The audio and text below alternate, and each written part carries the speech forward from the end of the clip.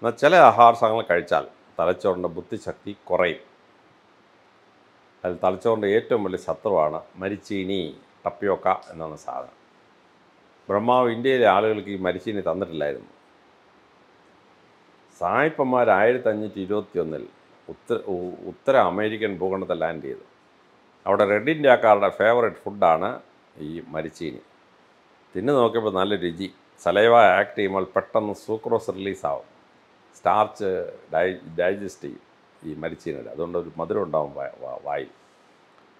അങ്ങനെ അതും കൊണ്ട് സായിപ്പ്മാർ ലോകം മുഴുവൻ ഇറങ്ങി എല്ലായിടത്തും അത് വിതരണം നടത്തി. അങ്ങനെയാണ് ഇന്ത്യയിൽ ഇല്ലാത്ത ഒരു മരിച്ചീനി ഇന്ത്യയിൽ എത്തിയത്. നമ്മളെയൊക്കെ മരത്തലയന്മാരാക്കാൻ വേണ്ടി സായിപ്പ് ചെയ്ത പണിയാണ് ഈ മരിച്ചീനി ഇവിടെ കൊണ്ടുവന്ന് വിറ്റതെന്ന് പറയുന്നത്. രണ്ടാമത് റെഡി ഇന്ത്യക്കാരുടെ കയ്യിൽ ഒരു സാധനം ഉണ്ടായിരുന്നു. പൊട്ടറ്റോ. ഈ മരിച്ചീനിയും പൊട്ടറ്റോയും തൂമ്പ എടുത്ത് കിളയ്ക്കുന്നവർക്ക് വളരെ ബെസ്റ്റാണ്. പെട്ടെന്ന് എനർജി റിലീസ് ആവുന്നതുകൊണ്ട് നല്ല ഹാർഡ് വർക്ക് ചെയ്യാൻ പറ്റും. പക്ഷെ തലച്ചോറ് കൊണ്ട് ജോലി ചെയ്യുന്നവർക്ക് അത്ര അനുയോജ്യമായ സാധനമല്ല. അങ്ങനെയുള്ള ടപ്പിയോക്ക ആൻഡ് പൊട്ടറ്റോ. അപ്പോൾ ചില കുട്ടികൾക്ക് ഈ പൂരിയും പൊട്ടറ്റോ പൊടിമാസം ഭയങ്കര ഇഷ്ടമാണ് പൂരിയും പൊട്ടറ്റോ പൊടിമാസം അടിച്ചിട്ട് പരീക്ഷ കയറിയാൽ അവന്റെ കാര്യം പോക്ക് തന്നെ ആ പരീക്ഷ പോക്ക് തന്നെ. അപ്പോൾ സെക്കൻഡ് സാറിന്റെ സൺഡേ ഒക്കെ അടിച്ചോണം. പരീക്ഷയുടെ അന്നോ വർക്കിംഗ് ഡേയ്സിലോ ഈ മരിച്ചിനി ഉരുളക്കിഴങ്ങും കഴിക്കരുത്. തലച്ചോറിന്റെ ഏറ്റവും വലിയ ശത്രുക്കളുള്ള ഒരാളാണ് ഗാർലിക് വെളുത്തുള്ളി അതുപോലെ ഇഞ്ചി ജിഞ്ചർ. ഇത് രണ്ടും കഴിച്ചാൽ നമ്മുടെ തലച്ചോറിന് ഇറിറ്റേഷൻ ഉണ്ടാവും ദേഷ്യം ഉണ്ടാവും ഇറിറ്റബിളായി മാറിപ്പോകും പരീക്ഷ എഴുതുന്നതിനൊരു ഉഷാറല്ലാതെ. എന്തോന്ന് പരീക്ഷ? പരീക്ഷ എഴുതിയില്ല എന്തുവാ? എന്നൊക്കെ തോന്നികളെ മലയാളത്തിൽ നിങ്ങൾ പഴഞ്ഞൊല്ലി കേട്ടിട്ടുണ്ടാവും. ഇഞ്ചി തിന്ന കുരങ്ങെന്ന്. കുരങ്ങ് ഇഞ്ചി തിന്നു കഴിഞ്ഞാൽ കുരങ്ങിന് അപാര ദേഷ്യം ഉണ്ടാവും. ചുറ്റും കാണുന്നതൊക്കെ അടിച്ച് തകർത്ത് പൊടിയായികളെ കുരങ്ങിന് കുഴപ്പമല്ല. കുഴങ്ങുന്ന കുരങ്ങുന്ന ഇഞ്ചിയുടെ കുഴപ്പമാണ്. പണ്ട് ഈ നായർ പട്ടാളം യുദ്ധത്തിന് പോകുമ്പോൾ അവർ കൊടുത്തുകൊണ്ടിരുന്നത് ഇഞ്ചിക്കറി കൂട്ടിയുള്ള ആഹാരമാണ്. ഇഞ്ചിക്കറി കൂട്ടിയുള്ള ആഹാരം. അപ്പോൾ നൂറ്റി പതിനാറ് കൂട്ടം കൂട്ടാൻ കൂട്ടി വേണം സദ്യ കഴിക്കാൻ. എന്താണ് സംഭവം? Inji curry is equal to hundred and eight curries നൂറ്റിയെട്ട് കറിക്ക് തുല്യമാണ് ഇഞ്ചി കറി അപ്പോൾ ഇഞ്ചിക്കറിയും പിന്നെ ഒരു എട്ട് കറി കൂടെ കൂട്ടി കൊടുക്കണമെന്നാണ് ഈ നൂറ്റി പതിനാറ് കൂട്ടം കൂട്ടാനുള്ള സദ്യ എന്ന് പറയുന്നത്. നായന്മാർക്ക് ഈ ഇഞ്ചിക്കറി ചേർത്തുള്ള സദ്യ കൊടുത്തു വിടും. ആമാർ ശത്രു സൈന്യത്തെ കാണുമ്പം ആ അടിച്ച് പാർട്ടി അതിനകത്ത് കയറി ഭയങ്കര നാശനഷ്ടങ്ങളുണ്ടായിരുന്നു ഈ ഇഞ്ചി പഠിക്കുന്ന കുട്ടികൾ പരീക്ഷയുടെ അന്നൊന്നും കഴിച്ചു കളയരുത് ഇഞ്ചിക്കറി ഇഞ്ചി തോരൻ ഇഞ്ചി മുട്ടായൊന്നും കഴിച്ചേക്കരുത്. പരീക്ഷ ഹാളിൽ കയറി പകുതി കഴിയുമ്പം എന്തോന്ന് പരീക്ഷ എന്ന് പറഞ്ഞാൽ ക്വസ്റ്റ്യൻ ആൻസർ ഷീറ്റും കൊടുത്തിട്ട് ഇറങ്ങിപ്പോരും പരീക്ഷ എഴുതത്തില്ല. അതുകൊണ്ട് ഇഞ്ചി വെളുത്തുള്ളി ഇതൊക്കെ പഠിക്കുന്ന കുട്ടികൾ പരീക്ഷയുടെ അന്നൊന്നും ഉപയോഗിച്ച് കളയരുത്. പിന്നെ മുളക് അരച്ച കറികളാണ്. കേരളത്തിൽ പ്രത്യേകിച്ച് മുളക് അരച്ച മീൻകറി വലിയ സ്പെഷ്യലിസ്റ്റാണ് സായിപ്പന്മാരും ഉത്തരേന്ത്യൻ ആളുകൾ ഇവിടെ വന്നു കഴിഞ്ഞാൽ മീൻ കറി കൊടുത്താൽ ഉടനെ അവർ ആ മീനിന്റെ കഷ്ണം എടുത്ത് കുടിക്കാൻ പറ്റ ഗ്ലാസ്സിന്റെ വെള്ളത്തിനകത്തിട്ട് കലക്കി എരിയെല്ലാം കളഞ്ഞിട്ടേ അവർ തിന്നത്തുള്ളൂ. നമ്മളുടെ വയറെല്ലാം കൂടെ ഇളയിപ്പോവും അപ്പോൾ പാണ്ടിമുളകും പിരിമുളകും കുരുമുളകും കാന്താരിമുളകും. വായിക്കാത്ത എരി വരുന്നതിന്റെ അർത്ഥം അതിനകത്ത് ഫീനോപ്രൊപ്പീൻ ഉണ്ടെന്നാണ്. ആ ഫീനോപ്രൊപ്പീൻ വലിയ അപകടകരമായ ഒരു സാധനമാണ്. പഠിത്തവും പരീക്ഷ എഴുത്തും വളരെയധികം ഭംഗം വരുന്ന ഒരു സാധനമാണ് ഈ ഫീനോപ്രൊപ്പീൻ അപ്പോൾ മുളക് അരച്ചുള്ള കറികൾ കഴിച്ചു കളയരുത് പാണ്ടിമുളകും പെരുമുളകും കുരുമുളകും കാന്താരി മുളകും ഇംഗ്ലീഷിൽ curry C U R R Y എന്നൊരു വാക്കുണ്ട്. സംഗതി തമിഴാണ്. ഇവിടുന്ന് കുരുമുളകിനെ കയറ്റി യൂറോപ്പിലേക്ക് അയക്കുമ്പോൾ അതിനെ തമിഴ് ഭാഷയിൽ ഈ കുരുമുളകിന്റെ പേരാണ് കറി. നമ്മൾ കുരുമുളക് എന്ന് പറയുന്നത് തമിഴ് ഭാഷയിൽ കറി എന്നാണ് വിളിക്കുന്നത്. അതുകൊണ്ടാണ് ആയിരത്തഞ്ഞൂറ് കൊല്ലത്ത് നമ്മളെ സംഘകാല കൃതികളിൽ പറയുന്നു കറി ഏന്തി പോയിടും കപ്പലുകൾ പൊന്നേന്തി തിരികെ വരും. കപ്പൽ നിറച്ച് കറി കുരുമുളകിനെ അങ്ങോട്ട് വിട്ടാൽ ഇങ്ങോട്ട് സ്വർണം വരും എന്നാണ്. അപ്പോൾ ഈ കുരുമുളക് ചേർത്ത് കറി ഉണ്ടാക്കുന്നതിനെ സായിപ്പന്മാർ വിളിച്ച പേരാണ് curry C U R R Y കുരുമുളക് ചേർത്ത് ഉണ്ടാക്കുന്ന സാധനം എന്നതിന്റെ അർത്ഥം കറി എന്ന് പറഞ്ഞ ഇംഗ്ലീഷ് വാക്കിന്റെ അർത്ഥം സംഗതി തമിഴ് വാക്കാണ്. അപ്പോൾ ഈ കണ്ടവാനം മുളക് അരച്ചുള്ള കറികൾ കൂട്ടിയാൽ പഠിക്കാൻ ബുദ്ധിമുട്ടാണ് പിന്നെ പരീക്ഷ എഴുതുന്ന കാര്യം വല്ലാത്ത ബുദ്ധിമുട്ടുള്ള ഒരു സാധനമാണ്. എന്നാൽ ഈ പരീക്ഷ പേടി മാറ്റാനും പരീക്ഷ നല്ലപോലെ എഴുതാനും നമ്മളെ സഹായിക്കുന്ന ഒരു സാധനമാണ് അത് ചോക്ലേറ്റാണ്. ഈ ചോക്ലേറ്റ് റെഡ് ഇന്ത്യക്കാരുടെ നിന്ന് കിട്ടിയതാണ്. ലോകത്തിലെ മറ്റൊരു ഭൂഖണ്ഡത്തിലും ചോക്ലേറ്റ് ഉണ്ടായിരുന്നില്ല. അവോക്കാഡോസ് ഉണ്ടായിരുന്നില്ല. ഇതൊന്നും ഉണ്ടായിരുന്നില്ല. ആയിരത്തി അഞ്ഞൂറ്റി ഇരുപത്തി ഒന്നിൽ സ്പാനിഷ് വിഭാഗക്കാർ അമേരിക്കയിൽ ചെന്നു. അമേരിക്കയിൽ ചെന്നപ്പോൾ അവരുടെ പുരോഹിതന്മാർക്ക് മാത്രം കഴിക്കാൻ ബാക്കി ആരും കഴിക്കാൻ പാടില്ല. പുരോഹിതന്മാർക്ക് മാത്രം കഴിക്കാൻ സാധനമുണ്ട്. ഇത് തിന്നിട്ട് അവർ പൂജ ചെയ്യാവും. സാ സ്പാനിഷുകാർ അവരുടെ ഇന്ന് ഇച്ചിരി സാധനം വാങ്ങിച്ച് വായിലിട്ട് നോക്കുമ്പോൾ നല്ല മധുരം നല്ല രസം. അവന്മാർ ആ സാധനം യൂറോപ്പിൽ കൊണ്ടുവന്ന്. അവിടുന്ന് ലോകം മുഴുവനായി. അങ്ങനെയാണ് നമുക്കെല്ലാം ചോക്ലേറ്റ് കിട്ടിയത്. അപ്പോൾ ഒരു ചോക്ലേറ്റ് വായിലിട്ട് തുപ്പൽ അലിയിച്ച് കുടിച്ചാൽ ഈ ചോക്ലേറ്റിനകത്ത് ഡോപ്പാമിൻ എന്നൊരു കോമ്പൗണ്ട് ഉണ്ട്. ഡോപ്പാമിനാണ് സന്തോഷം നമുക്ക് തലച്ചോറിൽ തരുന്ന കോമ്പൗണ്ട് ഡോപ്പാമിൻ. അപ്പോൾ ചോക്ലേറ്റ് വായിലിട്ട് തുപ്പലലി കടിച്ചു പിടിച്ചാൽ ഗുണമില്ല. തുപ്പലലിച്ച് കുടിച്ചു കഴിഞ്ഞാൽ ഡോപ്പാമിന്റെ അളവ് തലച്ചോറ് കൂടും. നമുക്ക് സന്തോഷം വരും. പരീക്ഷ പേടി മാറി. പരീക്ഷ എഴുതുന്ന ഒരു രസമാണ് പിന്നെ. ഇനി നമുക്ക് ഈ പരീക്ഷ പേടി ഉണ്ടാക്കുന്ന ഒരു സാധനമുണ്ട്. സെറോട്ടോണിൻ എന്നാണ് എന്റെ പേര്. ചോക്ലേറ്റ് നമ്മൾ തുപ്പലലിച്ച് കുടിച്ചു കഴിഞ്ഞാൽ ഈ സെറോട്ടോണിന്റെ അളവ് ഗണ്യമായി താപ്പോട്ട് വരും. ഗണ്യമായി താപ്പോട്ട് വന്നു കഴിഞ്ഞാൽ പരീക്ഷപ്പെടി മാറും. വളരെ ഭംഗിയായിട്ടിരുന്ന് പരീക്ഷ എഴുതാൻ പറ്റും. അപ്പോൾ ഡോപ്പാമിന്റെ അളവ് കൂട്ടുകയും സെറോട്ടോണിന്റെ അളവ് കുറയ്ക്കുകയും ചോക്ലേറ്റിന് വലിയൊരു എഫക്റ്റാണ്. നമ്മൾ പഠിക്കാനിരിക്കുമ്പോൾ ഒരു ചോക്ലേറ്റ് വായിലിട്ട് തുപ്പലലിച്ച് കുടിച്ചുകൊണ്ട് പഠിച്ചാൽ ഏത് ഇക്വേഷനാണേലും തലച്ചോറിനകത്ത് വളരെ ഭംഗിയായിട്ട് മനസ്സിലാവും. അവിടെയാണ് ഈ ചോക്ലേറ്റിന്റെ എഫക്റ്റ് എന്ന് പറയുന്നത്. നമ്മൾ പരീക്ഷ എഴുതാൻ പോകുന്ന ഹാളിൽ ചോക്ലേറ്റ് കൊണ്ടുപോകാൻ അനുവദിക്കുകയാണെങ്കിൽ ഒരാറ് ചോക്ലേറ്റും കൊണ്ട് പോകണം പരീക്ഷ ഉടങ്ങുന്നതിന് ആ അരമണിക്കൂർ മുമ്പ് ആദ്യത്തെ ചോക്ലേറ്റ് വായിലിടണം. പരീക്ഷ ഉടങ്ങുമ്പോൾ രണ്ടാമത്തെ അരമണിക്കൂർ കഴിയുമ്പോൾ മൂന്നാമത്തെ. അങ്ങനെ ഓരോ അരമണിക്കൂർ ഇടവിട്ട് ഇടവിട്ട് ചോക്ലേറ്റ് വായിലിട്ട് തുപ്പലല്ലിച്ച് കുടിച്ചുകൊണ്ടെന്ന് പരീക്ഷ എഴുതിയാൽ അടിച്ച് പറത്തി പരീക്ഷ എഴുതാൻ പറ്റും. ഭയങ്കര സ്കോർ മാർക്ക് പരീക്ഷയ്ക്ക് സ്കോർ ചെയ്യാൻ പറ്റും. ഇത് കാരണഭൂതമായത് ഫീനൈൽ ഈത്തൈൽ അമീൻ എന്ന് പറയുന്ന സാധനമാണ്. C six H five C two H five N H two ചോക്ലേറ്റിനകത്തുള്ള പ്രധാനപ്പെട്ട സാധനം. ഇതിനെ വിളിക്കുന്നത് ലവ് എൻസൈം എന്നാണ്. വായിക്കാത്തൊരു ചോക്ലേറ്റ് ഇട്ടിട്ട് എതിർ ലിംഗത്തിലുള്ള ഒരാളിനെ നോക്കിയാൽ പ്രേമം അപ്പം ഉണ്ടാവും. പുരുഷൻ സ്ത്രീയെ നോക്കിയാലും സ്ത്രീ പുരുഷനെ നോക്കിയാലും അപ്പം പ്രേമം. അതാണ് ഈ കാമുകവന്മാർ രണ്ട് ഓരോ ചോക്ലേറ്റ് വായിലിട്ട് തുപ്പലല്ലിച്ച് കുടിച്ചുകൊണ്ട് നോക്കിയാൽ പ്രേമം ഏരച്ച് കയറി തന്നെ ഭയങ്കര. അതാണ് ഈ ചോക്ലേറ്റിന്റെ ഒരു ഗുണം. അപ്പോൾ ഫിനോപ്രപ്പിന്റെ അളവ് കുറയും തളിച്ചോണ്ട് അതാണ് അതിന് ഗുണം.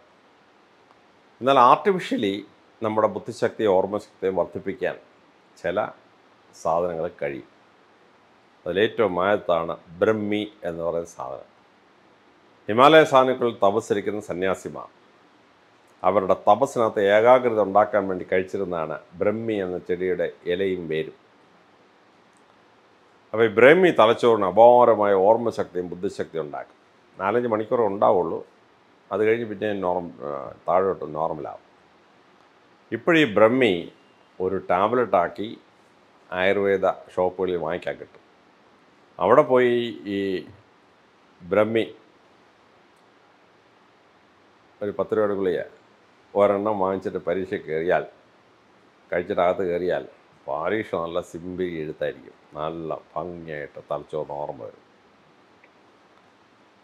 രണ്ടാമതായി വിദ്യയുടെ ദേവതയാണ് സരസ്വതി ദേവി. ആ സരസ്വതി ദേവിയുടെ പേരിൽ ഒരു അരിഷ്ടമുണ്ട് സാരസ്വതാരിഷ്ടം. സരസ്വതിയുടെ പേരിലുള്ള അരിഷ്ടമാണ് അര അവൺസ് വയറ്റിലോട്ട് ചെന്ന് കഴിഞ്ഞാൽ ബ്രെയിനിന് നല്ല എഫക്റ്റാണ് സിമ്പിളി എഫക്റ്റാണ്. അപ്പോൾ പരീക്ഷ എഴുതാൻ പോകുമ്പോൾ ആർട്ടിഫിഷ്യലി ഇച്ചിരി ഓർമ്മശക്തിയും ബുദ്ധിശക്തിയും കൂടണമെങ്കിൽ ഇങ്ങനെയുള്ള സംഭവങ്ങൾ പ്രയോഗിക്കാവുന്നതാണ്. ഞാനാണ് ഏഴ് ഡിഗ്രി എടുത്തു രണ്ട് പി എച്ച് ഡി എടുത്തു രണ്ട് തവണ ഐ എസ് പരീക്ഷ പാസ്സായി. നൂറ്റി എഴുപത്തിനാല് പബ്ലിക് എക്സാമിനേഷൻ ഞാൻ പാസ്സായിട്ടുണ്ട്. ഒമ്പടുത്ത റാങ്കാണ്. ഞാൻ ഏത് പരീക്ഷയ്ക്ക് പോകണമെങ്കിലും. രാവിലെ ഒരു ബ്രഹ്മി ടാബ്ലറ്റും കഴിക്കും. ഞാൻ ഈ ചെറിയ ഡപ്പയ്ക്കകത്ത് സാരസാഷ്ടം കൊണ്ടുപോകും എന്നിട്ട് അരയോണ് സാരസാഷ്ടം അകത്താക്കിയിട്ടേ പരീക്ഷയ്ക്ക് കയറുള്ളൂ ഡപ്പയോടെ കളയും. പ്ലാസ്റ്റിക് ഡപ്പയാണ്. അവിടുത്തെ വേസ്റ്റ് ബിന്നി കളഞ്ഞ് ചാത്ത് കയറും. പിന്നെ കുതിരയുടെ പരിപാടിയാണ്. പരീക്ഷ നല്ല രസമാണ്. അപ്പോൾ അങ്ങനെ ആർട്ടിഫിഷ്യലി ചെയ്യാൻ പറ്റും. ഇനി നമ്മുടെ വീട്ടിൽ അൽസീമേഴ്സോ ഡിമെൻഷ്യയോ ഒക്കെ രോഗമുള്ളവരുണ്ടെങ്കിൽ നമ്മുടെ ഓർമ്മശക്തി കുറയാതിരിക്കാനും അൽസീമേഴ്സും ഡിമെൻഷ്യയൊക്കെ ഒരു ഇരുപത്തഞ്ച് കിലോ ഡിലേ ചെയ്യാനും പറ്റിയ ഒരു സാധനമാണ്. അതാണ് ഓസ്ട്രേലിയയിൽ വളരുന്ന ഒരു ചെടിയാണ്. ജിങ്കോ ബിലോബ എന്ന് പറയുന്നത്. ജിങ്കോ ബിലോബ. അമേരിക്കൻ ശാസ്ത്രജ്ഞന്മാർ അതിന്റെ എക്സ്ട്രാക്ട് എടുത്തിട്ട് ഒരു ഗുളിക മാർക്കറ്റിൽ ഇറക്കി. ജിങ്കോ ബിൽ എന്നാണ് ഗുളിക. അപാര സാധനമാണ്. അപാര സാധനം. അമേരിക്കൻ ശാസ്ത്രജ്ഞന്മാർ പറഞ്ഞു യാതൊരു സൈഡ് എഫക്റ്റും ഇല്ലെന്ന്. പക്ഷെ ഞാനൊരു സൈഡ് എഫക്റ്റ് കണ്ടുപിടിച്ചു. നാലഞ്ച് ദിവസം ജിങ്കോവിൽ ഓരോ ടാബ്ലറ്റ് കഴിച്ചിട്ട് ആറാമത്തെ ദിവസം കഴിക്കാതിരുന്ന ഉറക്കത്തോട് ഉറക്കമാണ്. പതിനെട്ട് മണിക്കൂർ കിടന്നാലും ഉറക്കം തീരുകയാണ്. ഞാൻ അമേരിക്കൻ കമ്പനിക്ക് എഴുതി അയച്ചു നിങ്ങൾ സൈഡ് എഫക്റ്റ് ഇല്ലെന്ന് പറയരുത് ഇങ്ങനൊരു സൈഡ് എഫക്റ്റ് ഉണ്ട്. ടാക്സി ഡ്രൈവേഴ്സ് ഒന്നും ഇത് ഉപയോഗിക്കരുത് ഇക്കാരണത്താൽ കാര്യം അറിയാതെ കാറിൽ അങ്ങ് ഉറങ്ങിപ്പോയി വണ്ടി ഓടിച്ചുകൊണ്ടിരിക്കുമ്പോൾ ഉറങ്ങിപ്പോയി. ഇത് ശ്രദ്ധാപൂർവം മനസ്സിലാക്കേണ്ട ഒരു സംഭവം ഒരു ഒരു സംഭവമാണ്. ഞാൻ ഇനി അഡ്വർടൈസ് ചെയ്യുമ്പോൾ ഇത് സൈഡ് എഫക്റ്റ് എഴുതണമെന്ന് ഞാൻ അവരുടെ കമ്പനിക്ക് അവിടെ പറഞ്ഞിട്ടുണ്ട്. പക്ഷേ ഇത് ആയിരത്തി ഒരാൾക്ക് മാത്രമേ വേണ്ടി വരുള്ളൂ. ആയിരത്തി ഒരാൾക്ക് മാത്രം.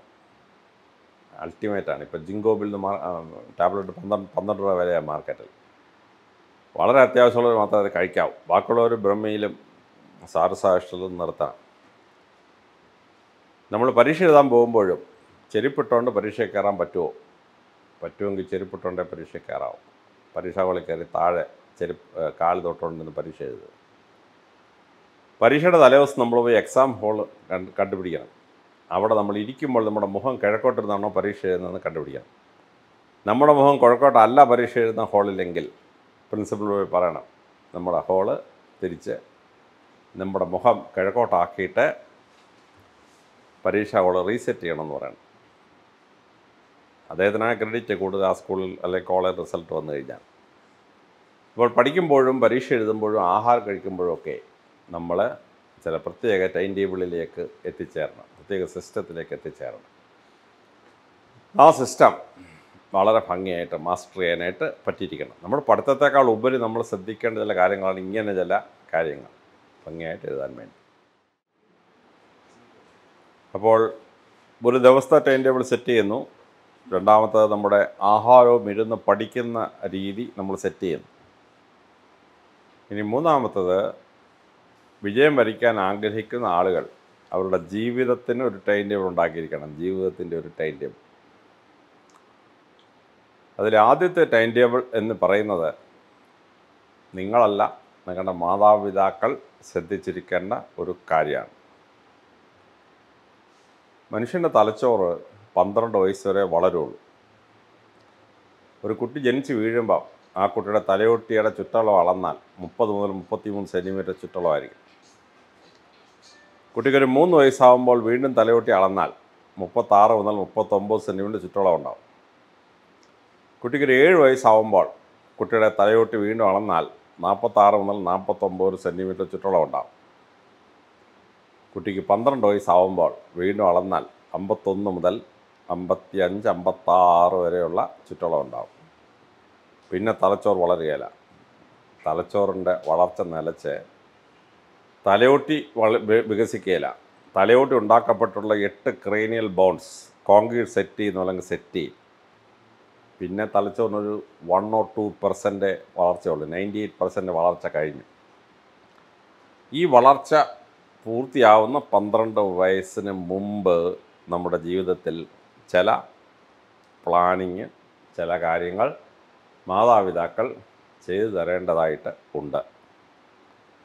അതിലേറ്റവും ആദ്യത്തത് നമ്മുടെ ഓർമ്മശക്തി വർദ്ധിപ്പിക്കുക എന്നുള്ളതാണ്. ഒരു കുട്ടിക്കൊരു ഡോക്ടർ ആവണമെങ്കിൽ നീറ്റ് പരീക്ഷ കയറിയാൽ ഒരു മിനിറ്റ് കൊണ്ട് ഒരു ചോദ്യത്തിന് ഉത്തരം എഴുതണം. ചോദ്യം വായിക്കാൻ മുപ്പത്തഞ്ച് സെക്കൻഡ് പോകും ആ ഒ എം ആർ ഷീറ്റിൽ കമ്പ്യൂട്ടറിന് ബുദ്ധിയില്ലാത്തൊരു യന്ത്രമാണ് അതല്ലേ വാല്യൂ ചെയ്യുന്നത്. അപ്പോൾ അതിന് കറക്റ്റ് ആ കോളം കറപ്പിച്ച് കൊടുക്കണം. അതിനൊരു പത്ത് സെക്കൻഡ് പോകും പിന്നെ ഒരു പതിനഞ്ച് സെക്കൻഡ് കിട്ടും ചിന്തിക്കാം ആ പതിനഞ്ച് സെക്കൻഡ് കൊണ്ട് ചോദ്യത്തിന് ഉത്തരം തലച്ചോളം ഓർമ്മ വരാത്തൊരു കുട്ടിയാണെങ്കിൽ ആ കുട്ടി ഒരിക്കലും ഡോക്ടറാവില്ല എഞ്ചിനീയറിങ് കഴിഞ്ഞ് ആ കുട്ടിക്കൊരു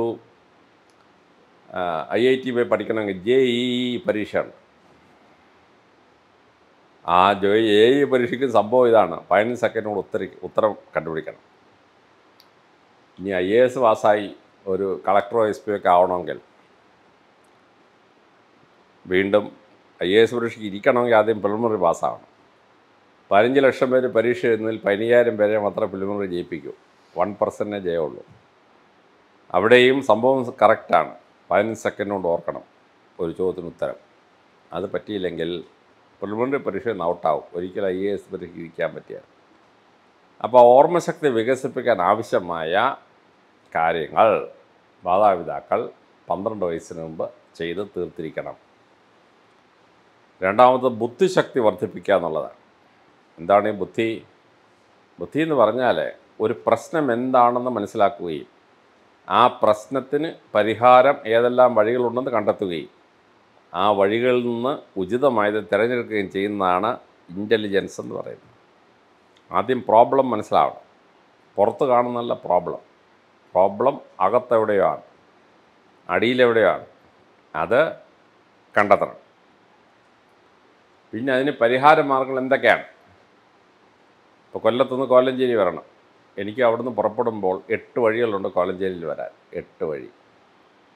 ഹൈവേ വഴി വന്നാൽ നല്ല വീതിയാണ്. എം സി റോഡ് വരുന്നാൽ വേറൊരു സംഭവമാണ്. ഇനി കൂത്താട്ടോളത്തുനിന്ന് പിറവം വഴി വരണമെങ്കിൽ അത് വേറൊരു വഴിയാണ്. അപ്പോൾ എട്ട് വഴികളിൽ സമയം ലാഭിക്കുന്നത് വഴി പോകണം നല്ല ഭംഗിയായിട്ട് അടിച്ചുവിട്ട് പോകണമെങ്കിൽ ഏത് റോഡേ പോകണം. പല പല ഓപ്ഷൻസാണ് അപ്പോൾ അതിനകത്ത് ഇഷ്ടമുള്ള വഴി തിരഞ്ഞെടുക്കുക. അതാണ് ഇന്റലിജൻസ് എന്ന് പറയുന്നത്. അത് ഡെവലപ്പ് ചെയ്യണം.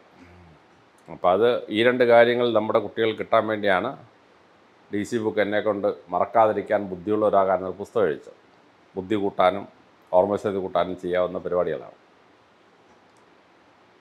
മൂന്നാമത്തെ ലേഖനം എഴുതാൻ പഠിക്കുക എന്നുള്ളതാണ്. പ്ലസ് ടു കഴിഞ്ഞ് ജീവിതത്തിൽ ഉയരണമെങ്കിൽ ലേഖനം എഴുതുന്ന കുട്ടിക്ക് മാത്രമേ പറ്റുള്ളൂ. ആ ലേഖനം എഴുതുന്ന ടെക്നിക്ക് ഉണ്ട് ആ ടെക്നിക്ക് മാസ്റ്റർ ചെയ്യണം. കോംപ്രിഹെൻഷൻ ടെക്നിക്ക് മാസ്റ്റർ ചെയ്യണം. നാലാമതായിട്ട് പരീക്ഷ എഴുതാനുള്ള ടെക്നിക്ക് മാസ്റ്റർ ചെയ്യണം. പരീക്ഷയ്ക്ക് മാർക്ക് കിട്ടുന്നത് അറിവിന് വേണ്ടി മാത്രമല്ല പരീക്ഷയ്ക്ക് നമ്മൾ ഉപയോഗിക്കുന്ന ഒരുപാട് ഞുണുക്ക് വേലകളുണ്ട്. ആ ഞുണുക്ക് വേലകളൊക്കെ അറിഞ്ഞിരിക്കണം. അത് പഠിക്കണം. ഒരു പേഴ്സണാലിറ്റി ടെസ്റ്റിൽ നമ്മളെക്കാൾ ഒരു മുപ്പത് വയസ്സ് പ്രായക്കൂടുതലുള്ളൊരു അഞ്ചെണ്ണം അവിടെ ഇരിക്കുകയാണ്. അഞ്ച് ചെന്നായ്ക്കളുടെ മുമ്പിൽ ഒരു കുഞ്ഞാടിനെ പോലെ നമ്മൾ പോയി അവിടെ ഇരിക്കുകയാണ്. നമ്മളെ കൊന്ന് തിന്നാൻ അവന്മാർ ഇങ്ങനെ തുളിച്ച് നോക്കി വട്ടം ചുറ്റിക്കണ്ണി. അവന്മാരെ എങ്ങനെയാണ് കളിയാക്കി പുറത്തിറങ്ങി വരിക? അത് ഒരു ആർട്ടാണ്. പഠിക്കേണ്ട ഒരു ആർട്ടാണ്. പിന്നെ പ്രസംഗിക്കാൻ അറിഞ്ഞിരിക്കണം. നമ്മുടെ ആശയം കൈമാറി കൈമാറാനായിട്ട് പ്രസംഗകല അറിഞ്ഞിരിക്കണം. ഇങ്ങനെ ഒരു അഞ്ചാറ് ടെക്നിക്ക് പന്ത്രണ്ട് വയസ്സിന് മുമ്പ് നമ്മൾ മാസ്റ്റർ ചെയ്തിരിക്കണം. പന്ത്രണ്ട് വയസ്സങ്ങോട്ട് കഴിഞ്ഞാൽ ബ്രെയിനിന്റെ വളർച്ച നിന്നു. അത് കഴിഞ്ഞാൽ നമ്മൾ നമ്മുടെ അതുവരെയുള്ള കഴിവുകൾ നേടിയെടുത്ത കഴിവുകൾ ഏത് മേഖലയാണെന്ന് കണ്ടെത്തണം.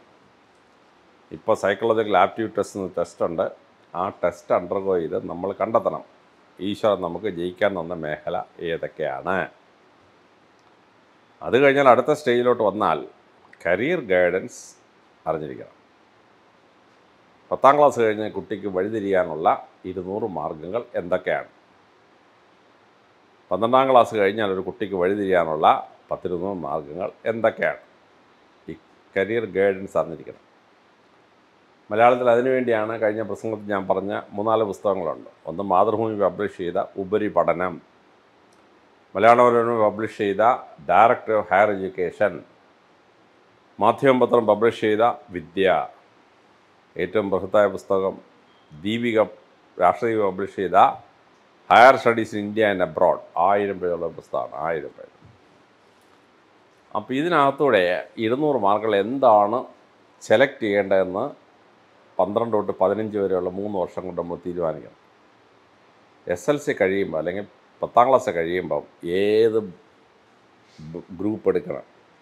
ഈ കരിയർ ഗൈഡൻസ് അനുസരിച്ചാണ് ഗ്രൂപ്പ് എടുക്കേണ്ടത്. ഗ്രൂപ്പ് എടുക്കാൻ തെറ്റിപ്പോയെങ്കിൽ രണ്ട് കൊല്ലം നമ്മൾ വേസ്റ്റ് ആക്കിയിട്ട് പ്ലസ് ടു കഴിഞ്ഞിട്ട് വീണ്ടും കറങ്ങി തിരിഞ്ഞ് വേറൊരു വിഷയം എടുത്ത് പോകണം അത് ഇരട്ടി പണിയാണ്. ഇരട്ടി പണി. പന്ത്രണ്ടാം ക്ലാസ് കഴിയുമ്പോൾ ഡിഗ്രിക്ക് ഏത് വിഷയത്തിന് പോകണം ഡിസിഷൻ തെറ്റിയാൽ മൂന്ന് കൊല്ലം പാഴം മൂന്ന് കൊല്ലം പാഴം. B A B S C കഴിഞ്ഞിട്ട് പിന്നെ നമ്മൾ തിരിഞ്ഞ് കറങ്ങി തിരിഞ്ഞ് ഇങ്ങോട്ട് വരണം. അപ്പോൾ ഇരുന്നൂറ് കരിയർ ഓപ്ഷൻസ് എന്ത് തിരഞ്ഞെടുക്കണം എങ്ങനെ പോകണം. ഇത് പതിനഞ്ച് വയസ്സാവുമ്പോൾ കുട്ടി പ്ലാൻ ചെയ്തിരിക്കണം. പന്ത്രണ്ട് വയസ്സിന് മുമ്പ് ഫാക്കൽറ്റീസ് ഡെവലപ്പ് ചെയ്യണം. പതിനഞ്ച് വയസ്സാവുമ്പോൾ ഈശ്വരൻ ഡെവലപ്പ് ചെയ്ത കഴിവ് എന്താണെന്ന് കണ്ടെത്തണം. പതിനഞ്ച് വയസ്സാവുമ്പം ഏത് ജോലിക്കാണ് ഞാൻ പോകേണ്ടത് ഏതാണ് എന്റെ കരിയർ എന്ന് കണ്ടെത്തി അതനുസരിച്ചുള്ള ഗ്രൂപ്പ് സെലക്ട് ചെയ്യണം. പന്ത്രണ്ടാം ക്ലാസ് കഴിയും. പതിനേഴ് വയസ്സാകുമ്പോൾ വളരെ കൃത്യമായി എവിടെയാണ് ബാച്ചലർഷിപ്പ് ചെയ്യേണ്ടതെന്ന് കണ്ടെത്തണം. അവിടെയാണ് എവിടെ പഠിക്കണം എന്നുള്ള തീരുമാനം. ഞങ്ങളുടെയൊക്കെ ചെറുപ്പത്തിൽ വീടിനടുത്തുള്ള സ്കൂളിലോട്ട് വിടും. അത് കഴിഞ്ഞ് വീടിനടുത്തുള്ള കോളേജിലോട്ട് വിടും. അന്ന് കേരളത്തിലാകെ നൂറ്റി ഇരുപത്തെട്ട് കോളേജേ ഉള്ളൂ. ഒറ്റ യൂണിവേഴ്സിറ്റിയേ ഉള്ളൂ. കേരള യൂണിവേഴ്സിറ്റി മാത്രമേ ഉള്ളൂ. ഇന്ന് ഒരു യൂണിവേഴ്സിറ്റി ഉണ്ടായിരിക്കുന്ന കേരളത്തിൽ പത്തൊൻപത് യൂണിവേഴ്സിറ്റിയായി. ഇരുപതാമത്തെ യൂണിവേഴ്സിറ്റിയായിരുന്നു ഞാൻ ഉണ്ടാക്കാൻ പോയ പോലീസ് യൂണിവേഴ്സിറ്റി. പക്ഷേ കേരളത്തിലെ പോലീസുകാർ അങ്ങനെ പഠിക്കേണ്ടെന്ന് ഗവൺമെന്റ് തീരുമാനിച്ചു. അതുകൊണ്ട് പോലീസ് യൂണിവേഴ്സിറ്റിയെ തിരുവനന്തപുരത്ത് ശാന്തി കവാടത്തിലേക്ക് അയക്കാനാണ് ഇപ്പോഴത്തെ തീരുമാനം. മിക്കവാറും ഈ മാസം യൂണിവേഴ്സിറ്റി ഇടപാട് കഴിയും. അപ്പോഴും പത്തൊമ്പത് യൂണിവേഴ്സിറ്റി ഉണ്ട് ആ പത്തൊമ്പത് യൂണിവേഴ്സിറ്റി ഏത് യൂണിവേഴ്സിറ്റി പഠിക്കണം? ഇനി കോളേജിൽ പോയി പഠിക്കണോ? വീട്ടിൽ ഇരുന്ന് പഠിക്കണോ? പണ്ട് കോളേജിൽ പോയെങ്കിലും ഡിഗ്രി കിട്ടത്തുള്ളൂ. ഇപ്പോഴെന്താണ്? ഓപ്പൺ യൂണിവേഴ്സിറ്റിയാണ്. നമ്മൾ വീട്ടിൽ ഇരുന്ന് പഠിക്കാം. ഞാനെടുത്ത ഏഴ് ഡിഗ്രികളിൽ ഒരെണ്ണത്തിന് ഞാൻ കോളേജിൽ പോയിട്ടുള്ളൂ. ബി എസ് സി കെമിസ്ട്രി കോളേജിൽ പോയിട്ടുള്ളൂ. ബാക്കി ആറ് ഡിഗ്രി ഞാൻ വീട്ടിലിരുന്ന് എഴുതിയെടുത്താണ്. നാനൂറ്റി തൊണ്ണൂറ്റി ഏഴ് ഡിഗ്രി വീട്ടിൽ ഇരുന്ന് പഠിക്കാം. അപ്പോൾ എങ്ങനെയാണ് ഒരു ഡിഗ്രിക്ക് പഠിക്കുക? എനിക്കൊരു ദിവസം ഒരു നൂറോളം ഫോൺ കോൾ വരും. പത്ത് മുപ്പത് ഫോൺ കോൾ വരുന്നത് കുട്ടികളുടെ ഗൈഡൻസിന് വേണ്ടി എന്നെ വിളിക്കുന്നതാണ്. ഏത് ഡിഗ്രി എടുക്കണം ഏത് ഓപ്ഷൻ എടുക്കണം ഏത് ഗ്രൂപ്പ് എടുക്കണം എന്ന് ചോദിച്ചുകൊണ്ടിരിക്കും ഞാൻ എത്ര സമയം പോയാലും രാത്രി പന്ത്രണ്ട് മണി വരെ പറഞ്ഞു കൊടുത്തുകൊണ്ടിരിക്കും അപ്പോൾ ഈ ഒരുപാട് കുട്ടികൾ വീട്ടിലിരുന്ന് എങ്ങനെയാണ് പഠിക്കുക എന്ന് കണ്ടെത്താൻ പോകും. പ്രത്യേകിച്ച് പെൺകുട്ടികൾക്കൊക്കെ ഒരു ഹോസ്റ്റലിൽ പോയി താമസിച്ച് കോളേജിൽ പോയി റിസ്ക് ഒരുപാട് ഫിസിക്കൽ റിസ്ക് ഉണ്ട് പെൺകുട്ടികൾക്ക്. പിന്നെ ചില അപ്പനും അമ്മയ്ക്ക് ഒരു മോളേ ഉള്ളൂ. കോളേജിൽ പോയി വല്ല പ്രേമം ഉണ്ടാവുമെന്ന് പേടി. അതുകൊണ്ട് കോളേജ് വിടത്തില്ല. പിന്നെ ചൂടുകാലമല്ലേ എയർ കണ്ടീഷൻ മുറിയിൽ നിന്ന് പഠിക്കാം വീട്ടിലിരുന്ന് പഠിക്കാം സുഖമായിട്ട് പഠിക്കാം. നാനൂറ്റി തൊണ്ണൂറ്റിയേഴ് അൺഎയ്ഡഡ് അല്ലെങ്കിൽ ഓപ്പൺ യൂണിവേഴ്സിറ്റീസ് ഉണ്ട്. നാനൂറ്റി തൊണ്ണൂറ്റി ഡിഗ്രി എടുക്കാൻ. ഇനി ഇന്ത്യയിലെ ഒരൊറ്റ യൂണിവേഴ്സിറ്റിക്കേ ഉള്ളൂ U N recognition. U N റെക്കഗ്നീഷനുള്ള best hundred യൂണിവേഴ്സിറ്റീസിൽ ഒരെണ്ണം ഐ ഐ ടി ഇന്ത്യയിലുള്ളത് മാത്രമേ ഉള്ളൂ വേൾഡ് റെക്കഗ്നൈസ്ഡ് ആയിട്ടുള്ള. ലോകത്തിലെ ഏറ്റവും ബെസ്റ്റ് നൂറ് യൂണിവേഴ്സിറ്റിയിൽ ഒരെണ്ണം ഇന്ത്യയിലുണ്ട് ഐ ഐ ടി. അവിടെ പോയി പഠിക്കുന്ന വലിയ പാടാണ് ആകെ ഏഴ് ഐ ഐ ടി ഉള്ളൂ. ഇന്ത്യയിലെ നൂറ് കോളേജ് എടുത്താൽ ബെസ്റ്റ് കോളേജ് നൂറെണ്ണത്തിന്റെ ലിസ്റ്റിനകത്ത് കേരളത്തിൽ നിന്നാകെ ഒരു കോളേജേ ഉള്ളൂ. S H college Thevara. Thevara second art college മാത്രമേ ഉള്ളൂ. കേരളത്തിലെ ഇന്ത്യയിലെ ബെസ്റ്റ് ഹൺഡ്രഡ് കോളേജസിൽ ഒരെണ്ണം. അപ്പോൾ ഞങ്ങളുടെ കാലത്ത് രക്ഷയൊന്നുമില്ല. തൊട്ടടുത്തുള്ള കോളേജിലെ പോകാൻ പറ്റൂ. അല്ലെങ്കിൽ ഹോസ്റ്റലിൽ പോയി താമസിച്ച് പഠിക്കണം. അതെല്ലാം അപ്പനും അമ്മയെ കൊണ്ട് പറ്റുമോ പറ്റത്തില്ല. പെൺകുട്ടികളെ ദൂരോട്ട് പഠിപ്പിക്കാൻ പറ്റിയല്ല പണ്ടാണേ എല്ലാ വീട്ടിലും എട്ടും പത്തും പിള്ളേരുണ്ട്. ഒരെണ്ണം പഴിച്ചു പോയാലും കുഴപ്പമൊന്നുമില്ല. ബാക്കിയുണ്ടല്ലോ എന്ന് വിചാരിക്കും. ഇപ്പോൾ ആകെ റേഷൻ റേഷൻ വാങ്ങിക്കുന്നവരാണ് പിള്ളേർ ഒന്ന് രണ്ട്. അതിനെ എവിടെ ഒഴിപ്പിക്കാനാണ് അപ്പോൾ ഇപ്പോൾ എന്ത് പറ്റി? ഇന്ത്യൻ പാർലമെന്റ് ആക്ട് പാസ്സാക്കി. ലോകത്തിലെ പതിമൂന്ന് ഇന്റർനാഷണൽ യൂണിവേഴ്സിറ്റി പഠിക്കാൻ വിദേശത്ത് പോകണ്ട വീട്ടിലിരുന്ന് പഠിക്കാം Boston university Massachusetts university Chicago university Litchfield university ഇങ്ങനെ പതിമൂന്ന് യൂണിവേഴ്സിറ്റി പഠിക്കാൻ വിദേശത്ത് പോകുക വേണ്ട. പാസ്പോർട്ട് വേണ്ട. വിസ വേണ്ട. ഇവിടെ ഇരുന്ന് പഠിക്കാം. സുഖമായിട്ട് പഠിക്കാം. പണ്ട് ഇന്റർനാഷണൽ സ്കൂളിൽ പോകണമെങ്കിൽ ഇംഗ്ലണ്ടിലോ ഫ്രാൻസിലോ ഒക്കെ പോയി പഠിക്കണം. ഇപ്പോഴോ ഇന്റർനാഷണൽ സ്കൂൾ കേരളത്തിലെത്തി. കേരളത്തിൽ തന്നെ പതിനാല് ഇന്റർനാഷണൽ സ്കൂളുണ്ട്. എക്സാമിനേഴ്സ് അവിടെ ഇരുന്ന് നോക്കും. നമ്മളിവിടെ നിന്ന് പേപ്പർ എഴുതിയാൽ മതി. ചിക്കാഗോയിലിരുന്ന് അല്ലെങ്കിൽ കേംബ്രിഡ്ജിലിരുന്നുകൊണ്ട് നമ്മുടെ പരീക്ഷാ പേപ്പർ നോക്കി മാർക്കിട്ട് വരും ഇവിടെ. പിന്നെ ഒരാണ്ടിൽ കേംബ്രിഡ്ജ് യൂണിവേഴ്സിറ്റി അടക്കേണ്ടത് എട്ട് ലക്ഷം രൂപയാണ് ഒരു സ്കൂൾ. അപ്പോൾ ഫീസ് അതുപോലെ കട്ടിയാണ്. ഒരു മാസം ആയിരത്തഞ്ഞൂറ് രണ്ടായിരം രൂപ ഫീസാണ്. പക്ഷേ ഇച്ചിരി പൈസ ഒക്കെ ഉള്ള ഒരാളിന് രണ്ടായിരം രൂപ വളരെ പ്രശ്നമൊന്നുമല്ല. അപ്പോൾ നമ്മുടെ പിള്ളേരിപ്പം ഇന്റർനാഷണൽ സ്കൂളിൽ പഠിച്ച് കേംബ്രിഡ്ജ് സർട്ടിഫിക്കറ്റ് കോഴ്സോ അല്ലെങ്കിൽ ഹാർവാർഡ് സർട്ടിഫിക്കറ്റ് കോഴ്സ് ഇതാണ് ഇപ്പം പത്താം ക്ലാസ്സും പന്ത്രണ്ടാം ക്ലാസ്സും പാസ്സാവും അത് കഴിഞ്ഞ് എഴുന്നൂറ് യൂണിവേഴ്സിറ്റി പഠിക്കാം. രണ്ടായിരത്തോളം ഡിഗ്രിക്ക് പഠിക്കാം. എങ്ങനെ? ഇന്റർനാഷണൽ ലിങ്കേജ് വെച്ച് പഠിക്കാം. ലിങ്ക് പ്രോഗ്രാം ഫസ്റ്റ് ഇയർ കേരളത്തിൽ തന്നെ പഠിക്കാം. സെക്കൻഡ് ഇയർ ഓസ്ട്രേലിയയിലോ ഇംഗ്ലണ്ടിലോ അമേരിക്കയിലോ പോയി പഠിക്കാം. ഇപ്പം എന്റെ മോളെ മോളോട് ഞാൻ ചോദിച്ചു വിദേശത്ത് പോയി പഠിക്കണം? രണ്ട് പിള്ളേർ പറഞ്ഞു ഇഷ്ടമില്ലാന്ന് പറഞ്ഞു. രണ്ടാമത്തെ പിള്ളേർ എനിക്കൊന്ന് പോകണം അപ്പം പറഞ്ഞു ഓസ്ട്രേലിയയിലെ ജെയിംസ് കുക്ക് യൂണിവേഴ്സിറ്റി പോയി മോൾ എം ബി എടുത്തോണ്ടു ഫസ്റ്റ് ഇയർ എങ്ങും പോകണ്ട ഫസ്റ്റ് ഇയർ കേരളത്തിൽ പഠിച്ചാൽ മതി. സെക്കൻഡ് ഇയർ മാത്രമേ ഉള്ളൂ. ഓസ്ട്രേലിയയിൽ പോയി പഠിക്കേണ്ടത്. ആ ലിങ്ക് യൂണിവേഴ്സിറ്റി സ്കീമിൽ നമുക്ക് ഓക്സ്ഫോർഡിൽ പോയി പഠിക്കാം കേംബ്രിഡ്ജിൽ പോയി പഠിക്കാം അമേരിക്കയിൽ പോയി പഠിക്കാം. സുഖം പരിപാടി. Link course. ഒരെണ്ണം ഒരു കൊല്ലം ഇവിടെ ഒരു കൊല്ലം അവിടെ. കംപ്ലീറ്റ് ഇവിടെ താമസിച്ച് പഠിക്കാം. പതിമൂന്ന് ഫോറിൻ യൂണിവേഴ്സിറ്റീസ് അത് കഴിഞ്ഞാൽ വിദേശത്ത് പോയി പഠിക്കുകയാണ്. ഇത് ഞങ്ങളുടെ ഒന്നും ചെറുപ്പത്തിൽ ഞങ്ങൾ സ്വപ്നം കാണാത്ത ഒരു വലിയ സ്കീമാണ്. ആ ഇൻഫർമേഷൻ നെറ്റ്വർക്കിലോട്ട് കയറി കഴിയുമ്പോൾ കുട്ടികൾക്ക് ഒരു വലിയ യൂണിവേഴ്സ് തുറന്ന് കിട്ടുകയാണ്. ഞങ്ങളൊക്കെ ഓക്സ്ഫോർഡ് കേംബ്രിഡ്ജ് എന്ന് കേട്ട് വായിൽ വെള്ളം ഊറിക്കൊണ്ട് നടന്നു ചെറുപ്പകാലത്ത്. ഇപ്പോൾ സ്വന്തം വീട്ടിലിരുന്ന് ഓക്സ്ഫോർഡിൽ നിന്ന് ഡിഗ്രി കിട്ടും. പോയി പഠിച്ച് ഡിഗ്രി എടുക്കാം. അപ്പം ഒരു പൈസ ഇല്ലാതെ പോയി പഠിച്ചിട്ട് ഇറങ്ങി വരാം. രണ്ടായിരം സ്കോളർഷിപ്പുണ്ട് വാങ്ങിച്ചുകൊണ്ട് പോവാ. അപ്പോൾ ആ ലിങ്ക് കൊടുത്തു കഴിഞ്ഞാൽ മാതാപിതാക്കൾ വളരെ കഷ്ടപ്പെട്ട് കുട്ടികളെ വിദേശത്ത് വിട്ട് പഠിപ്പിക്കുകയാണ്. വിദേശത്ത് വിട്ട് പഠിപ്പിക്കുന്നു. ചില കുടുംബങ്ങളിൽ ഒരു രക്ഷയില്ല. എന്റെ ഭാര്യയുടെ കുടുംബത്തിൽ നാൽപ്പത്തി മൂന്ന് ന്യൂക്ലിയർ ഫാമിലീസായിരുന്നു നാൽപ്പത് ഫാമിലീസും പോയി. അമേരിക്ക കാനഡ ഓസ്ട്രേലിയ ന്യൂസിലൻഡ് എന്ന് പറഞ്ഞങ്ങ് പോയി. ഇപ്പോൾ എന്റെ ഭാര്യയും എഞ്ചിനീയർ അങ്കിളും ബാക്കിയുണ്ട്. അവരുടെ ഒരു എൺപത്തിരണ്ട് വയസ്സ് കഴിഞ്ഞവരാണ്. ഒരു പത്ത് കൊല്ലം കഴിഞ്ഞാൽ എന്റെ ഭാര്യ മാത്രമേ ആ കുടുംബത്തിൽ ബാക്കിയുള്ളൂ പിന്നെ. ഞാനും ഭാര്യയും വിദേശത്ത് പോകുന്നില്ല തീരുമാനിച്ചുകൊണ്ട് ഞങ്ങൾ മാത്രം ആ കുടുംബത്തിൽ നിന്ന് ബാക്കിയായി. ബാക്കിയുള്ള കംപ്ലീറ്റ് കുടുംബം പോയി. അഞ്ചാറെണ്ണം പോയി സായപ്പിനെ കല്യാണം കഴിച്ച്. അഞ്ചെട്ടെണ്ണം പോയി മദാമയെ കല്യാണം കഴിച്ച്. ഇനി ഒരു പത്ത് മുപ്പത് കൊല്ലം കഴിയുമ്പോൾ വരും. Once upon a time four fathers lived in Kollam എന്നൊക്കെ പറഞ്ഞ് വാചം പിടിച്ചോണ്ട് വരും. പക്ഷെ അവനൊന്നും തിരിച്ചു വരികയില്ല. Completely gone families completely wiped ഔട്ടാണ് ബിഷപ്പ്മാരൊക്കെ വരണ്ട് ഓടുകയാണ്. വിദേശത്ത് പഠിക്കാൻ പോകുന്നു മറ്റാൻ മറിച്ചാന്ന്. ആരെങ്കിലും ബോധർ ചെയ്യുന്നുണ്ട്? ബിഷപ്പ് പറഞ്ഞ. കുട്ടികൾ പോവാണ്. അപ്പോൾ ഈ വിദേശ യൂണിവേഴ്സിറ്റി പഠിക്കണോ? പഠിക്കണമെങ്കിൽ ഏത് യൂണിവേഴ്സിറ്റി പഠിക്കണം? പത്താം ക്ലാസ് ആകുമ്പോൾ തീരുമാനിച്ചാൽ മതി. രണ്ടോ മൂന്നോ കൊല്ലം കഴിയുമ്പോൾ നമ്മുടെ കുട്ടികൾ പോയി വിദേശത്ത് പഠിക്കും. ലാർജ് നമ്പർ ഞാനിവിടെ സ്കൈ ഹൈ വന്ന് കഴിഞ്ഞവണ്ണം പ്രസംഗിച്ചിട്ട് പോയി ഒരു അഞ്ചെട്ട് പേരൻസ് എന്നെ വിളിച്ചു. സാറാ വിദേശ യൂണിവേഴ്സിറ്റി പഠിക്കുന്നതിന് എന്തോ പറഞ്ഞല്ലോ എന്ന്. ഞാൻ നമ്പർ കൊടുത്തവർക്ക് അവരെല്ലാം പോയി ഇപ്പോൾ അവരുടെ നാല് പേരുടെ മക്കൾ വിദേശത്ത് എത്തിക്കഴിഞ്ഞു. നാല് മാസം കൊണ്ട് പറന്നവന്മാരല്ല. അപ്പോൾ ഇവിടെയാണ് കളി എക്സ്പോസിങ് എന്നാണ് ഇവിടെ കാണുന്ന സ്കൈ ഹൈ ഒരു ബോർഡ് വെച്ചാൽ വിദേശ യൂണിവേഴ്സിറ്റി പഠിക്കാൻ ഇവിടെ ഗൈഡ് ചെയ്യുമെന്ന് പറഞ്ഞുകൊണ്ടല്ലോ ഇദ്ദേഹത്തിന് ഇരിക്കപ്പുറത്ത് കിട്ടത്തില്ല. ജനം ഏറച്ച് ഇങ്ങോട്ട് കയറും ഇതാണ് ഇവിടുത്തെ അവസ്ഥ. അപ്പം ഏത് കോളേജ് പഠിക്കണം? ഏത് യൂണിവേഴ്സിറ്റി പഠിക്കണം? ഞങ്ങളുടെ കാലത്ത് ഞങ്ങളൊന്നും സ്വപ്നം കാണാത്ത പോലെ അവന്യൂസ് ഓപ്പൺ ചെയ്ത് വരികയാണ്.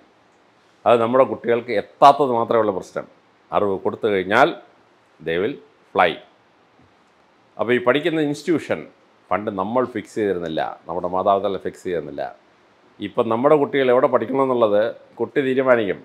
അപ്പനും കുട്ടിയോട് ഇരുന്ന് ഏത് രാജ്യത്ത് ഏത് യൂണിവേഴ്സിറ്റി പോകണോ far easy now very very easy